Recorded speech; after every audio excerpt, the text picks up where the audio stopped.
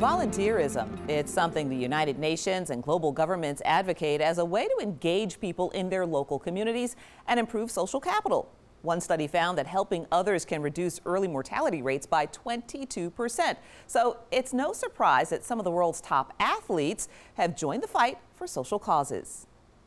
A house is just a building, but a home is where the heart is. That's something former Atlanta Falcons running back Warrick Dunn has always known. Home ownership was his late mother's dream, but Dunn realized it wasn't hers alone.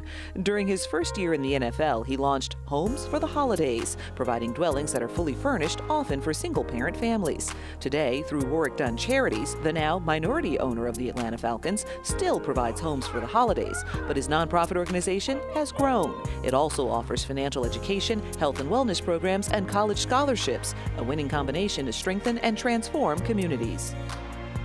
With nearly 11,000 rushing yards, Warrick Dunn was one of the league's best running backs when he was playing in the NFL. But for Dunn, more rewarding inspiration is when a football player strives to follow in his footsteps off the field, as you'll see in today's executive profile.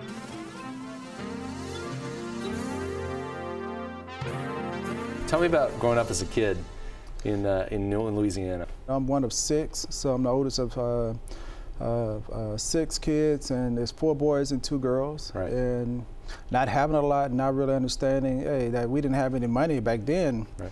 And just being together, I thought we had it all. My mom was a Baton Rouge City police officer at the time, and that was her way of working hard and, and uh, supporting her family, and she didn't ask for help from anyone. How did you find organized sports? I mean, was it a big part of the community that you were li living in? Did all the kids play? We did not play or have organized sports in the community that we were in Scotlandville. We just played outside. Sure. Yeah, when I was seven, eight, nine years old, we played street football, street basketball. It took a guy coming around that community asking other kids, like, who's the fastest kid back here? Who's this or who's that? And this guy came and he found me. He asked me, did I want to run track? That's when I got introduced to organized football. I was small. I was, I mean, if you thought I was a small professional football player, just imagine seven years old when I started playing, I was the smallest kid out there. And when I started playing, I was the last kid picked because we just played street tackle football or touch football. And then when they saw that people couldn't tackle me, they can barely touch me, and I was mm -hmm. running around, I started being the first kid being picked. Being the smallest kid, do you think that helped you with your drive in terms of becoming more competitive as an athlete? I think I got a little bit of that from my dad. He ran track, mm -hmm. so uh, he was competitive, but my mom, she was state champion in high hurdle. She played fast pitch softball. Mm. She taught us about what it would take to be the best that you can be, and she challenged us. Uh, talking about your mom, she was killed in the line of duty. Uh, she was off duty at the time, but she was working. You were coming off the most traumatic thing that any young person could ever imagine. Mm -hmm. What about Florida State gave you the sense of, of confidence that you could transition from all that you went through to a college setting? It was only like two weeks after I lost my mom. And I just wasn't in the mind frame to really uh, take the whole experience in. When I met with Coach Bowden, he treated me like a son. Mm -hmm. and, and, early on, uh, I think we just built a rapport that uh, had open door policy when I was there, that I can come and talk to him. So I just built a connection with him and a relationship that I really felt comfortable. And I decided to commit to Florida State, but I, I only committed because I made a deal with Coach Bowden.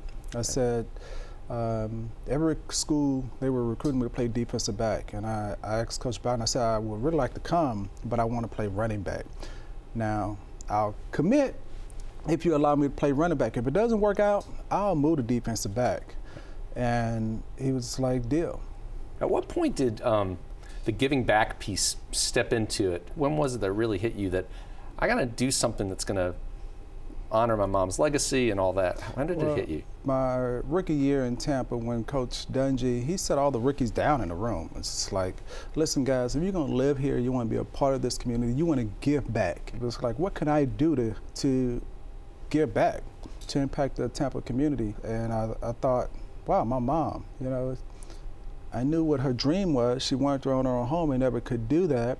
I knew she couldn't save up for a down payment, and if we could get a house, we didn't have the money. My mom made thirty-six thousand dollars raising six kids, so I thought about my mom. You know, I didn't really think too much of the program. I just wanted to say, hey, I, I did something in the community. I gave back. It was pretty cool. But after doing three homes that first um, Thanksgiving, you know, I went home and watched the news. It's like, wow, I changed a family's life. You know, three individuals. I can't believe it. The second mom picked me up and squeezed me. I, she's so excited. All I did was just help her, you know, down payment and put some furniture in the house. It's not a big deal. And that's when it really hit me. It was just like, wow, I want to do this again and again and again. The more that I started to do it, the more that I thought about what the city of Baton Rouge did uh, mm. for myself and my family, how they started a fund when my mom passed away, and people donated money. And that's how we were able to pay bills and survive all those years. I just felt like they taught me something, and it took me a few years to really understand and catch a grasp, get a good grip and grasp of it. And I had motivation from Coach Dungy. And then it's just about the execution of really uh, following through with my mom's uh, dream of home ownership. I can tell you, handing over keys, seeing a kid, seeing a family walk through the front door, a kid run into their own room, they can't believe this is mine. Oh my God, to me, that's life changing. Work, this started off with you just building homes for, for families.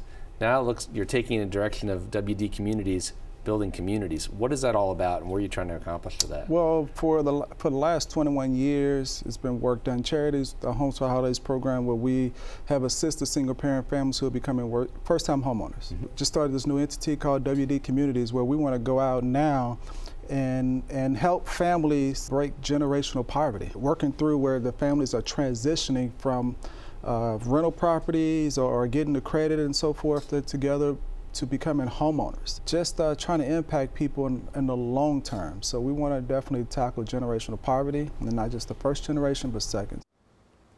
Warrick Dunn, along with Muhammad Ali, Jeff Gordon, Mia Hamm, and others, founded the Athletes for Hope in 2007. The organization helps professional athletes, sports industry professionals, and fans get involved in charitable causes.